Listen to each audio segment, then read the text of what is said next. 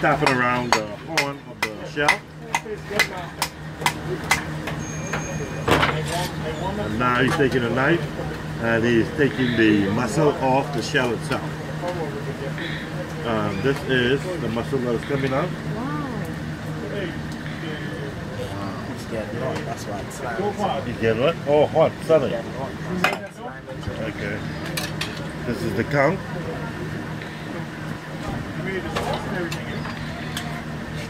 And this is a male conch. His private parts is there. This is a male conch. This is his private part. This is his eyes. Oh, See the eyes in there? what is this?